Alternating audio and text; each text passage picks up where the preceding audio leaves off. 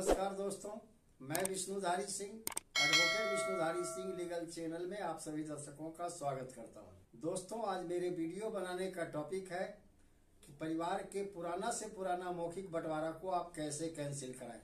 दोस्तों, जैसा कि आप जानते हैं, आम परिवार में ऐसी बातें होती रहती है कि परिवार का कोई भी भाई या कोई भी बेटा माँ बाप के दुलारे होते हैं या कोई भाई दबंग होता है। वैसी परिस्थिति में परिवार के जो ज़मीन है, जो ज़मीन जायदाद पड़ी हुई है उसमें कोई भाई कीमती ज़मीन हिस्से में अपना ले लेता है और दूसरे भाई को कम कीमती ज़मीन हिस्से में दे देता है। या माता पिता भी ऐसा कर देते हैं, किसी किसी के अति प्रेम में आकर कि कम कीमती ज़मीन किसी एक बेटे को देते हैं और ज़्यादा कीमती ज़मीन किसी एक बेटे के हिस्से में डाल देते हैं। इसे आप एक उदाहरण से समझेंगे दोस्तों। मान लीजिए ज़मीन है, किसी एक बेटे के हिस्से में रोड साइड ज़मीन मिला और दूसरे बेटे के हिस्से में रोड से पीछे की ज़मीन मिली। तो रोड के पीछे की हिस्से जिसे ज़मीन में मिलेगी, निश्चित तौर पर उस ज़मीन की कीमत कम होगी। रोड साइड वाले ज़मीन की कीमत ज़्यादा होगी। ऐसी परिस्थिति में दोनों का रकबा, यानी दोनों का क्षेत्रफल अगर बराबर है तो यह गलत होगा, क्योंकि इस तरह का बंटवारा भारतीय बंटवारा अधिनियम के अनुसार अवैध है। दोस्तों, जब आप मौखिक बंटवारा घर में करते हैं तो एक सादा पेपर पर बंटवारा तैयार कर लेते हैं। सबों का शेड्यूल बना बनाकर बांट देते हैं। लेकिन जिस भाई को अधिक कीमत की ज़मीन मिली हिस्से में, वो भाई तो बल्ले बल्ले है उसकी। दूसरे भाई को जिसे कम कीमत की ज़मीन मिली, वो भाई बेचारा मायूस हो जाता है। तब तो दूसरा भाई उस स्थिति में क्या करे? बंटवारा का दस साल, पंद्रह साल गुजर गया है। लेकिन अभी तक सब भाई आपस में दाखिल खारिज अपने अपने नाम पर नहीं करवाए हैं। दोस्तों, ऐसी परिस्थिति में आपको क्या करना है? यानी उस भाई को क्या करना है? जो भाई के हिस्से में कम कीमत वाली ज़मीन मिले। तो दोस्तों, भारत के अंदर में बंटवारा अधिनियम लागू है। बंटवारा अधिनियम के अनुसार सभी पक्षकारों को, यानी घर के सभी मेंबर को जो हिस्सेदार हैं, उन लोगों को समान रकबा या समान मूल्य की संपत्ति का बंटवारा हो सकता है दोस्तों। लेकिन यहाँ पर तो बंटवारा हुआ, किसी को रोड साइड का ज़मीन, किसी के पीछे का ज़मीन।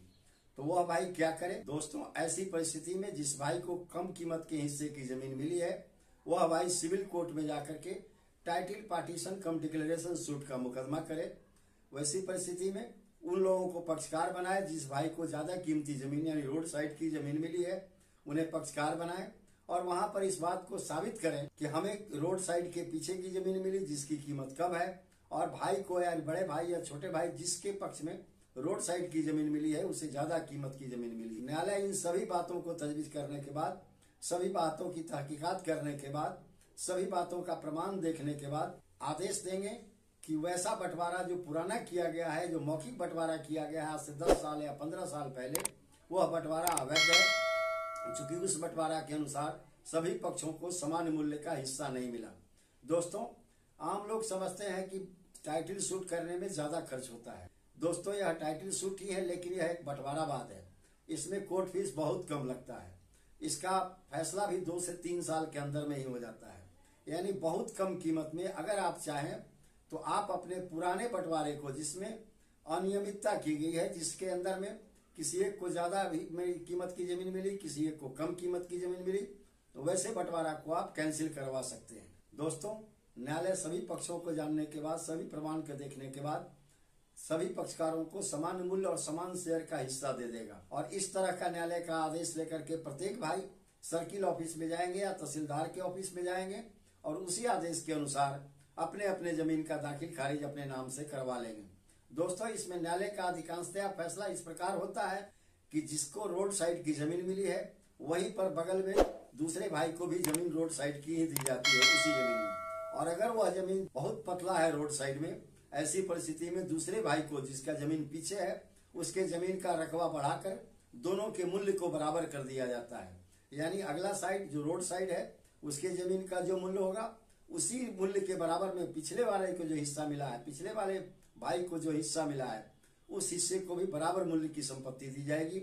यानी उसका रकबा कुछ बढ़ा दिया जाएगा, उसका क्षेत्रफल कुछ बढ़ा दिया जाएगा। तो दोस्तों, इस प्रकार आप समझ गए होंगे कि पुराना से पुराना बंटवारा जिसके अंदर में अनियमितता बरती गई हो, जिसके अंदर में समानता, समान रूप से बंटवारा नहीं किया गया हो, जिसके अंदर में किसी एक पक्षकार के पक्ष में पक्षपात किया गया हो ऐसे बंटवारा को आप न्यायालय में जाकर के पार्टीशन सूट करके कैंसिल करवा सकते हैं और आप अपना सही मूल्य और समान हक के बराबर में हिस्सा न्यायालय से प्राप्त कर सकते हैं। तो धन्यवाद दोस्तों। अब विशेष अगले वीडियो में। अगर आपको मेरा यह वीडियो पसंद आया तो आप इसे लाइक करें सब्सक्राइब करें, अपने साथी और संबंधियों को शेयर करें, ताकि जिन लोगों के पास भी इस तरह का बंटवारा जिसमें अनियमितता बरती गई है, अगर इस तरह का बंटवारा में किन्हीं भाई के साथ पक्षपात हुआ है वह न्यायालय में जाकर इस वीडियो में बताए गए रास्ते से अपना कानूनी हक प्राप्त कर सकते हैं। धन्यवाद दोस्तों।